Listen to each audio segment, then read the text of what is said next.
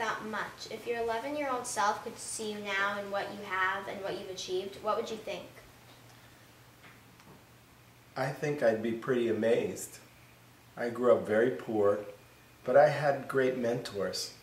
My grandmother was wonderful to me and she always believed in me.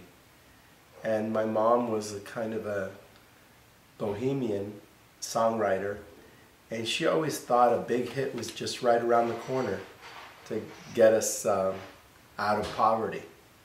So eventually it happened, not quite as fast as she thought. Well, that seems, I have a, my next question is perfect for that. Um, living on a prayer seemed a lot like having money struggles, but with love getting you through it. Is that related to your childhood? Yes, I, I thought a lot about the people who supported me when I was growing up. And having somebody that loves you is so important. And in the end, it's the love that you have in your life that's the real value of living, not how much money you have. Okay, so going back to how you were raised, does your Cuban, it's not Cuban, oh wait, yeah, sorry, culture impact any of your um, non-Latin music? I would think that some of the Cuban culture uh, that I grew up listening, uh, you know, being a part of and listening to, the, to Cuban music did influence my songwriting. Because there's something that's very fluid about Cuban music, and I think that my songs have a kind of flow in them. So, wait, okay. You collaborate a lot, so um, is there someone that you feel you do your absolute best work with that you are always kind of guaranteed to have a good outcome with? My favorite collaborator, well, let's say plural collaborators, are Jon Bon Jovi and Richie Sambora Bon Jovi. We've written, I think, one of the best songs of the of the last 25 years, "Living on a Prayer," Definitely. and a bunch of other songs. The one great thing about "Living on a Prayer" is that you can go to a concert today, and when they go to do the song, they don't even have to do it. The whole audience is singing along, young and old. So it seems to have struck a chord amongst fans all around the world. Seeing fans react that way, do you, does it really like melt your heart melt warm your heart? Well, it does. Uh, a lot of the time that I spend at a Bon Jovi concert is not really looking at the stage, but turning around and looking at the audience, at the audiences, and it, and it does warm my heart. Um, we've gotten letters through the years of people that were going to jump off a bridge, and they parked the car and got ready to jump, and "Living on a Prayer" came on the radio, and they just went back in their car and drove home and dealt with their problems. So that's a really good feeling. That is actually amazing. I didn't. If I'd known that that you were going to say that, I probably would have rewritten the next question. Um, even when you work with other people, I assume that you kind of incorporate your own style. So you were saying before you kind of have that Cuban flow in all your music, but what else, if you had your own genre, what would you describe your music as?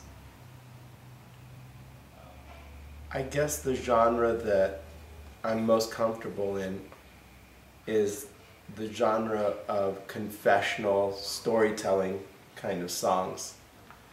And um, it, they can be more, I guess, in the rock vein than in the R&B vein. But I think there's, there's kind of a flow. Have you ever had to change that for what's in quotation marks in? Usually the songwriting part isn't what changes. What changes is the instrumentation. Because right now we're going through what I call a disco phase. Everything sounds like it's going to be played in a disco. from Lady Gaga to Katy Perry, and it sounds really good. But I've seen that disco phase come and go over the last 35 years. So, you know, probably after that there'll be a big rock and roll phase, and people won't want to have anything to do with dance music. So we'll see.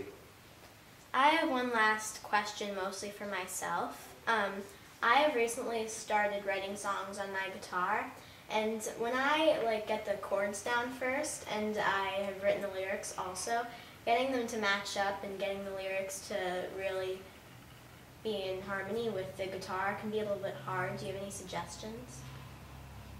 I think the first thing to focus on is what you're saying in the song. If you have a title, that's always a good place to start because then everything you write sets up the title, sets up what we call the hook.